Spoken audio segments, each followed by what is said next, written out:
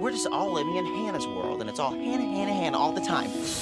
I could offer you a position, So thrilled. but I won't. Sorry.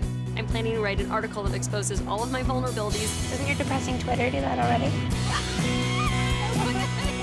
I'm an individual, and I feel how I feel when I feel it. And right now, it's a Wednesday night, baby, and I'm alive. What are you wearing? Oh, a shirt. Enjoy exclusive interviews and footage on Rev TV, Channel 500, now playing on HBO.